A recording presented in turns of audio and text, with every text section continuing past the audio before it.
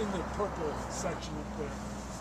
This balloon is a 140,000 cubic foot balloon that will be carrying up to six passengers at a time. It's going to be soon going to Washington State in Winthrop, Washington, for a customer that we have there that flies up in the uh, up in the mountains of Winthrop.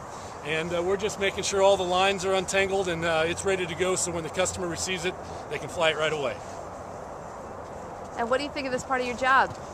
This is the this is the gratifying part to see a culmination of all the all the design and engineering that goes into the balloon come to uh, uh, come to its end product, and uh, all the all the employees uh, like it when uh, we get to do the test inflation and they get to see the end product. It's uh, real gratifying.